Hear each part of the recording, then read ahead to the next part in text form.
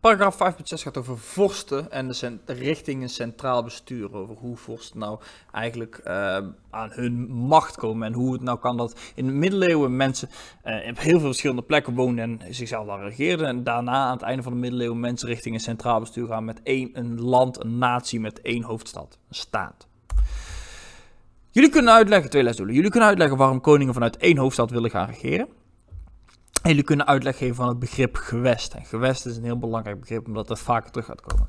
Nou, de koning die wil meer macht. Maar hij heeft drie problemen. Het eerste probleem is het leenstelsel. En het leenstelsel, dat is, het groot probleem is daaraan dat hij, eh, of tenminste zijn voorouders, die hebben delen van het land uitgeleend aan mensen die voor hen dan het land gaan besturen. Maar dat betekent ook dat de koning daar minder directe macht over heeft over dat gebied. Want het gebied wordt nu bestuurd door iemand anders die daar eigenlijk autonoom is, die daar zelf de baas is.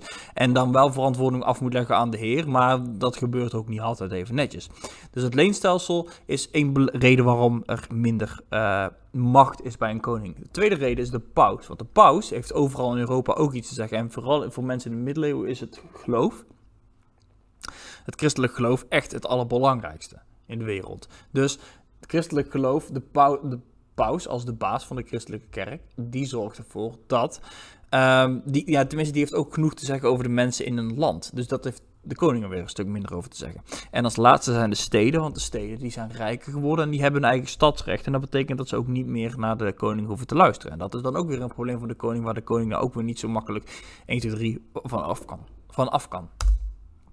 Die steden, dat is degene die de koning als, laat, als eerste aan gaat pakken. Want die andere twee die zitten te diep in het middeleeuwse systeem. De paus ik gewoon te machtig, kun je niet aanpakken. Het leenstelsel bestaat al zo lang dat, mensen daar ook moeilijk vanaf kunnen gaan stappen. Maar de steden, die, kun je wel, die kunnen ze makkelijk aan, want dat zijn ook in principe maar vrij kleine gebieden in de wereld, laat het zo zeggen. Een oplossing voor problemen met de steden, dat begint met de koning die geld gebruikt. Het geld wat hij heeft, gaat hij gebruiken om een heel groot leger te huren. Want in de middeleeuwen hadden mensen vooral huurlegers. En hij gaat ervoor zorgen dat er een groter leger, dat hij een groter leger heeft. En dat leger gaat hij dan gebruiken om meer belastinggeld te gaan eisen van steden. En dat doet hij dan door dat leger um, rondom een stad te leggen, bijvoorbeeld. En dan tegen die stad te zeggen: Oké, zou je me alsjeblieft wat meer geld willen geven? Zou je alsjeblieft wat meer belastinggeld willen geven? En als die stad dan zegt ja, dan krijgt de koning meer belastinggeld. En als die stad zegt nee, dan verovert de koning de stad en dan heeft hij toch nog steeds een belastinggeld. Dus win-win situatie voor de koning. Dat betekent dat hij veel meer belastinggeld binnen gaat krijgen. En dat belastinggeld gaat hij gebruiken om eigen ambtenaren aan te stellen. Die ambtenaren, dat zijn mensen die zijn niet van adel, die, die werken direct voor de koning. Die zijn alleen maar trouw aan de koning en Ehm, die helpen dan bij het lokale bestuur. Wat zorgt dat er minder macht naar de adel gaat. En dat er ook veel minder belastinggeld naar de adel gaat. Want normaal gesproken zou de adel degene zijn die, de, die een gebied bestuurt. Maar nu heeft de koning gewoon mensen van de derde stand die functie gegeven. Dus dat betekent dat er in één keer heel veel mensen zijn.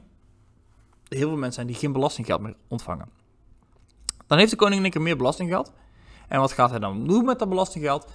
Dan gaat hij weer geld vragen voor een huurleger. En dat huurleger, dat wordt dan weer een, dat wordt dan een deel van het leger van de koning, waardoor de koning een groter leger heeft, waardoor hij nog meer invloed kan gaan uitoefenen over bepaalde gebieden.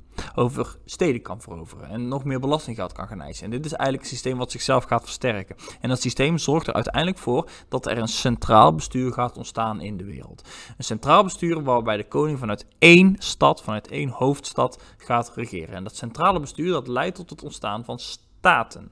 Staten, dat zijn landen met duidelijke grenzen. Met, waarvan je duidelijk weet, oké, dit is gebied, dit gebied is Nederland, dit gebied is België bijvoorbeeld, dit gebied is Frankrijk, dit gebied is Duitsland. Um, dit zijn landen met duidelijke grenzen waarin iedereen dezelfde wet heeft. Dus er zijn wetten die gelden niet per gewest, per gebied. Dan is het niet dat mensen um, naar, ja, tenminste daar hebben ze als wet dat ze geen belasting hoeven te betalen en daar hebben ze als wet dat ze klompen moeten dragen. Dat zijn overal verschillende wetten, maar in een staat heeft iedereen dezelfde wetten. Dus dat is de, overal vanuit de hoofdstad wordt dan besloten deze wet wil ik hebben en die wordt dan overal in het Rijk ingevoerd. Nou, in Nederland is er dan een probleem. Want Nederland bestond uit gewesten. En gewesten, dat zijn eigenlijk de provincies zoals jij ze vandaag de dag kent. Maar dan met eigen wetten en regels. Dus elk gewest had zijn eigen wetten, had zijn eigen regels, had zijn eigen um, ja, cultuur, taal eigenlijk zelfs. gewesten hadden allemaal een andere taal, die hadden ander geld, die gebruikten niet allemaal hetzelfde geld, hadden andere culturen en iedereen was gewoon een beetje op zichzelf aangewezen. Iedereen bestuurde zichzelf, iedereen was alleen maar met zichzelf bezig. Dus dit is een gebied, een, een, een, een bestuur waarbij, uh, tenminste een wereld waarin Nederland niet zozeer bestond uit één land, maar waaruit heel veel verschillende gewesten waren die allemaal een eigen kleine landje waren. Een Verenigde Staten van Nederland eigenlijk, soort van. Deze gewesten, die allemaal een eigen taal hadden, een eigen geld, een eigen cultuur, die waren absoluut niet blij met het centraal bestuur. Want ze hadden hun eigen wet, hun eigen voorrechten, alles hadden ze voor zichzelf vrijgevochten. En nou komt er een koning aan die zegt, mm, mm, dat is allemaal voor mij. En deze mensen wilden dat niet kwijt. Dus dit zorgt ervoor dat er heel veel conflicten gaan ontstaan in ja, de wereld eigenlijk. In Nederland vooral. Nou, dat was eigenlijk de laatste paragraaf, paragraaf 5.6. Jullie kunnen uitleggen waarom koning vanuit één hoofdstad willen gaan regeren. Omdat je dan meer macht hebt als koning. En vanuit één hoofdstad voor het hele land, voor een heel staat, overal dezelfde wetten kunt beslissen. Krijg je meer belastinggeld voor ook. En jullie kunnen uitleg geven van begrip gewest. Dat zijn eigenlijk de provincies, zoals vandaag de dag. Maar dan allemaal met een eigen wet, een eigen regels, een eigen taal, een eigen cultuur.